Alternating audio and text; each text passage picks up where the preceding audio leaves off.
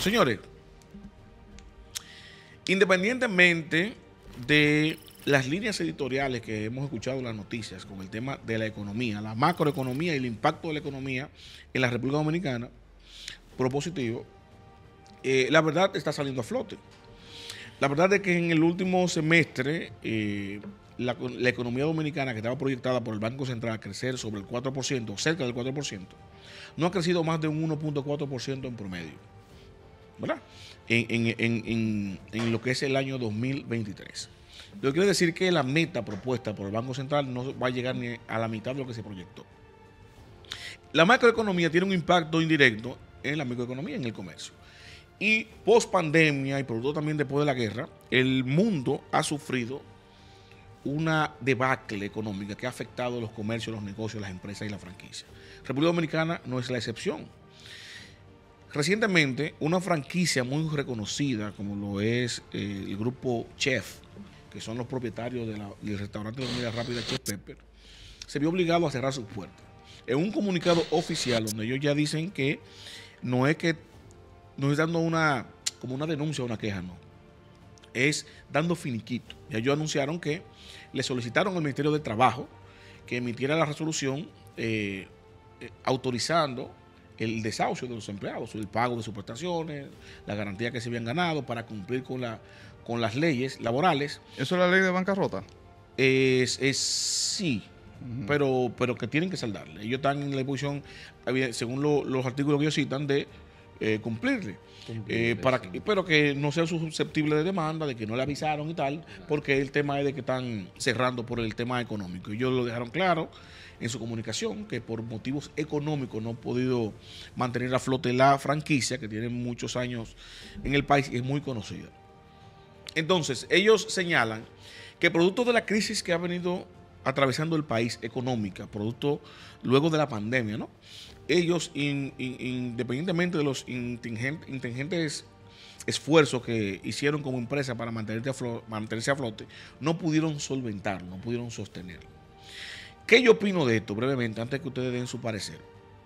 Yo opino que esto es un choque con la realidad, de que no solamente estamos hablando de que la gente que es un consumidor final de humilde de un barrio, que se queja de que un plátano, por ejemplo, en el colmado le cuesta 35 pesos, eh, encuentra que la comida está cara, sino que ya la República Dominicana tiene que chocar con la realidad de que la inflación y los problemas económicos han encarecido la vida de los dominicanos, no solamente de los pobres, sino de la gente más pudiente. De, no solamente, ya no estamos hablando de que están cerrando negocios pequeños, una cafetería, un colmado.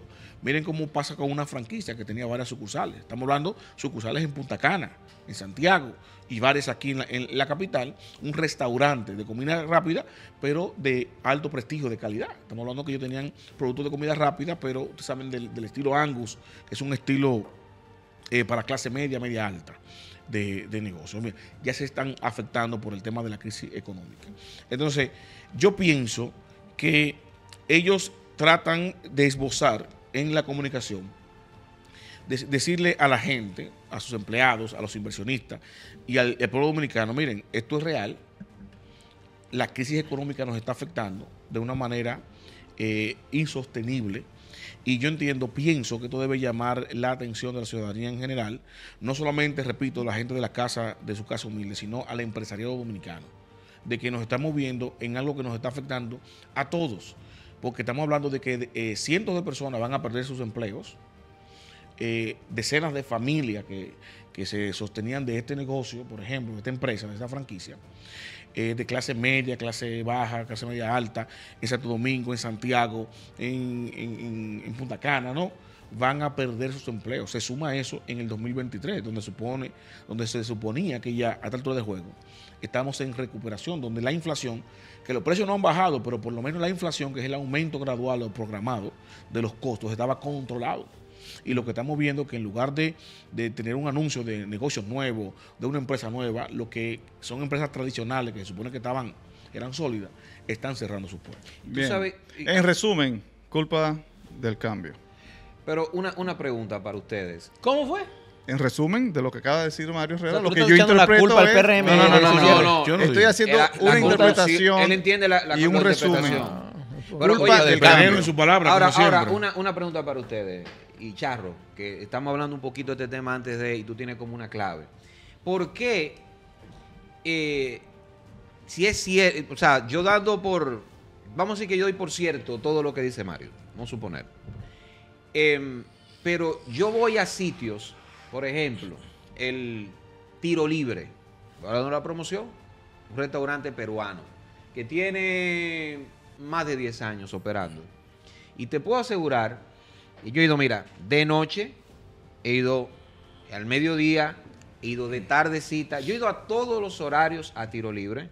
Los precios no son baratos, porque un restaurante de clase media ¿Cuántas, alta. cuántas sucursales tiene? No, no, no.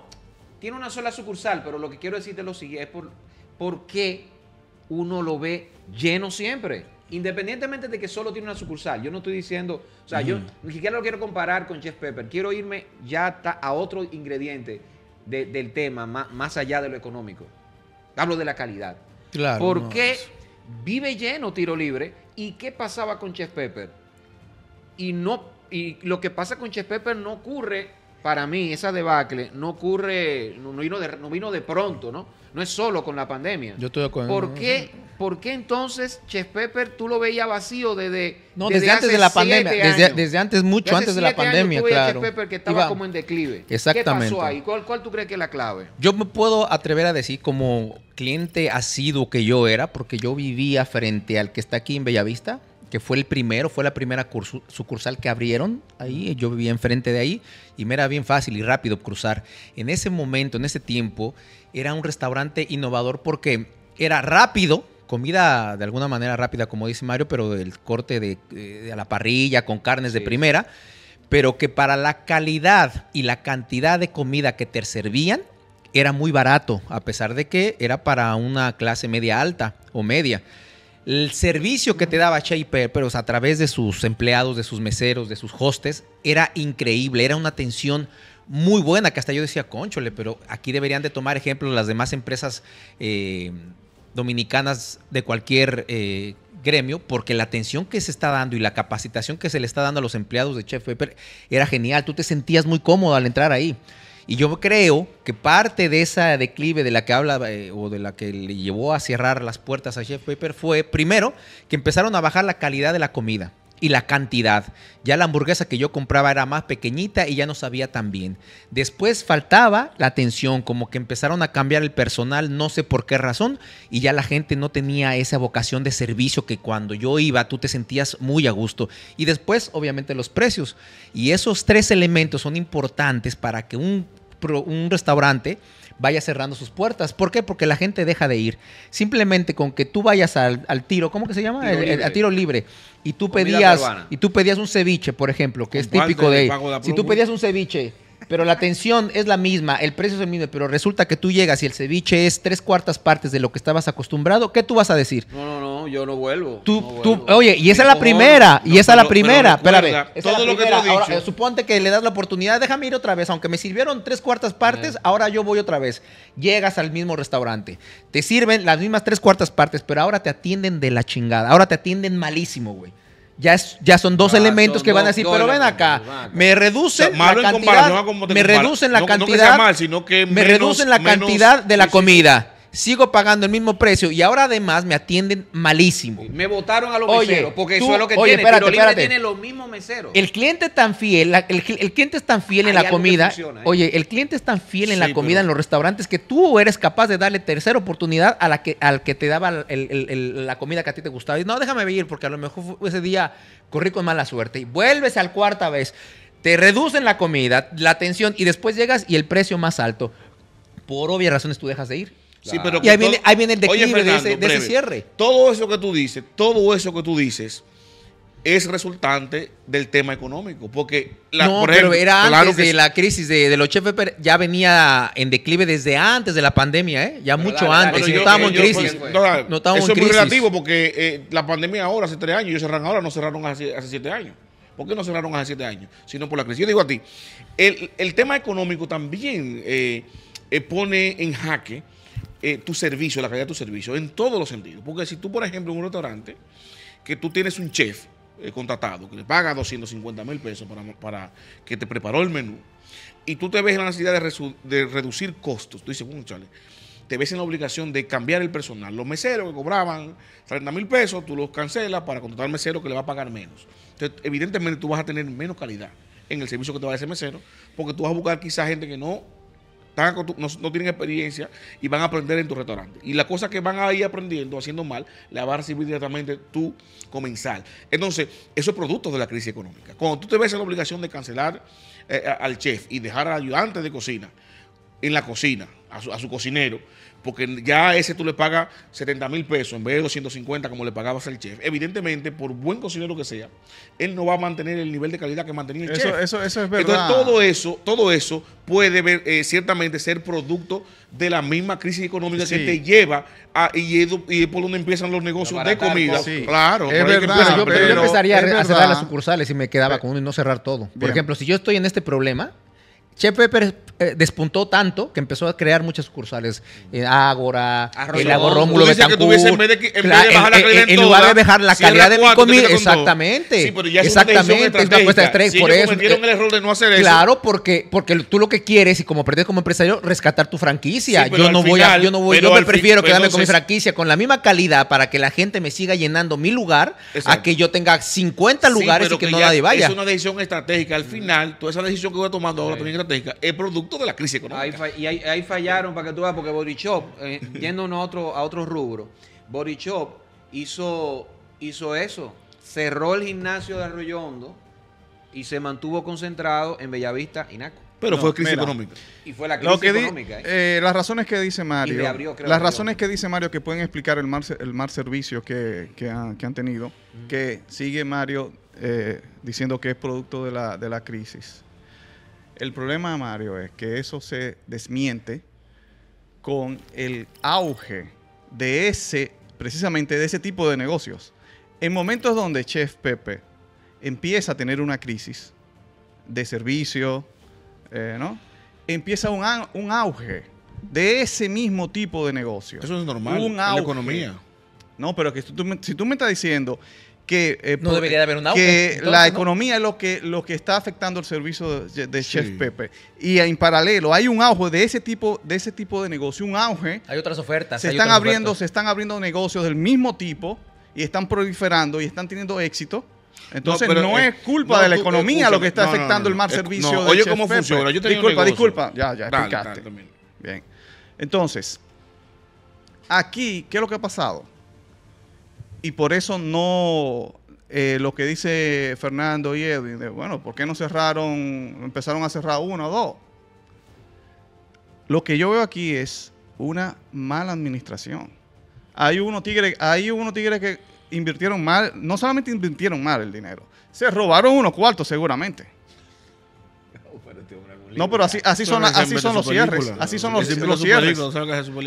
no, ninguna franquicia va a cerrar todas las todas las tiendas de un solo golpe. Aquí se han dado casos de Pollo Rey, por ejemplo. Pollo Rey tenía como seis sucursales aquí en la capital. Empezaron por una crisis y por mala administración de ellos. ¿Y qué empezaron? Bueno, empezaron a cerrar una por una, a ver lo que podían salvar. Y se quedaron abiertas las que pudieron salvar, ¿no? Pero que esas son Y- decisiones estratégicas. Si tú estratégicamente dices, bueno, yo veo lo de Barkley, lo que he ido bajando, en lugar de yo esperar a quebrar todo, lo con lo que Mario, puedo salvar, Chef vamos Pepper- a cancelar Chef y menos. no tiene excusa para lo único que él no puede decir que fue a, tra- a través de la crisis económica. De ¿Por hecho, qué yo- no puede? ¿Por qué? porque es que estamos en la época, en la época de ese tipo de negocio. No ha habido otro momento más exitoso en la República Dominicana para ese tipo de negocio. En cada esquina tú vas y tú ves un tipo de negocio La así. crisis donde económica ven obliga a que los porque no se eliminan Ah, los Chef servicios. Pepper, nada más. No, mi hermano, escúcheme, escúcheme. ¿Qué ha crecido en la República Dominicana ahora en los últimos, en los últimos cuatro años? la el co- comida, La- claro, porque los negocios como Chef No, Pepper. Claro, porque ese es el, el negocio informal que te permite a ti emprender. Tú tienes que buscarte la, la- Si tú pierdes tu empleo, te va a morir. Tú sales a, a negociar. Entonces, Comida todo informal. el empleo. yo te todo hablo de, no, no, yo te hablo de, Escúchame, no, no, no. Escúchame. Pero que no yo escúchame. estoy hablando de chimi carrito, yo te estoy hablando de restaurantes como Chef Pepper Y que vende mucho más caro, ¿ah? Que vende mucho pero- más pero caro. mi hermano, sí, pero que tú que digas, bueno, dame, Che Pepe cerró. Eso, imagínate tú ahora, Che Pepe cerró. Ese nicho que estaba ahí, que se, que se de Che Pepe, va a venir una gente de emprendimiento, va a invertir 2 o 3 millones y va a sacar un restaurante. Ese restaurante que va a durar un año, el próximo año, tratando de captar la clientela que va dar Che Pepe, es una inversión. Tú lo ves exitoso, pero es una inversión, un tipo que está gastando para posicionar un negocio. Por, ¿Y por qué está resistiendo ahora? Porque él lo acaba de poner. Entonces, ¿qué te lleva? Cuando se cierra un negocio, se abren tres. Y eso es normal en la economía. Y cuando tú ves que un negocio quiebra o cierra, hay un tema económico. Hay problemas también que se suman de gerencia, estrategias erróneas. Tú puedes sumar lo que tú quieras. Maldito gato.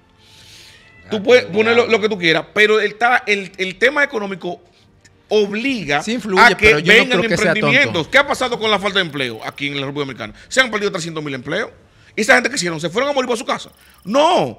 Son autoempleados que han hecho emprender obligatoriamente. todos, güey, no el, todos. Que, el que perdió el trabajo. No, los 300 mil. No, pero no los 300 mil, pero, de- pero que fíjate, cuando tú ves las estadísticas, se de- perdieron 300 mil empleos, ¿verdad? Y han aumentado, ¿cuál? Los empleos informales. Han, han salido 180, 200 mil empleos informales. ¿Por qué?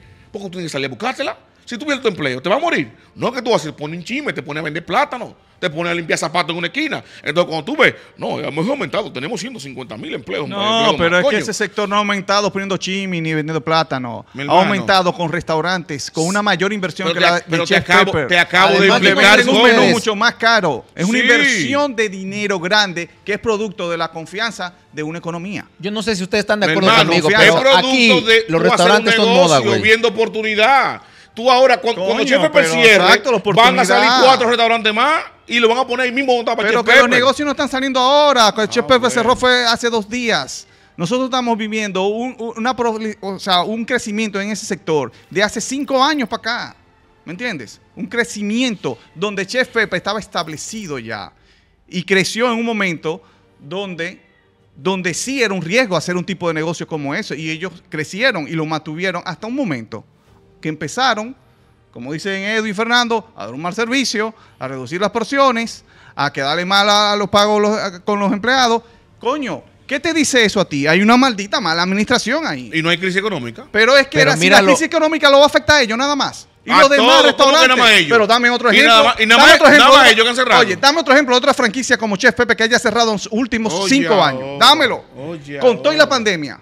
Con todo y la pandemia, Oye, franquicia de comida, porque la pandemia lo que hizo fue potencializar ese tipo de negocio, loco. Pero lo, que- lo primero que dije yo en el comentario cuando empecé Pero dame un es que ejemplo. está llegando ahora la crisis. No, es que Pablo Pollo Rey se- Pollo Rey más cerró rápido, hace mi 20 hermano, hace 15 más años rápido casi. quiebra una cafetería que Chef Pepper. Chef Pepper va- varios años. Tú no sabes cuál es franquicia Pero ahora mismo. Dios, oye, Están oye. solventando su crisis, como está Chef Pepper. Lo que pasa es que no van a salir a decirlo. Pero Están está- batallando. Yo te dije a ti, donde se ven los efectos inmediatos son en los autoempleos, en los pequeños comerciantes, en el consumidor final, que estamos al grito.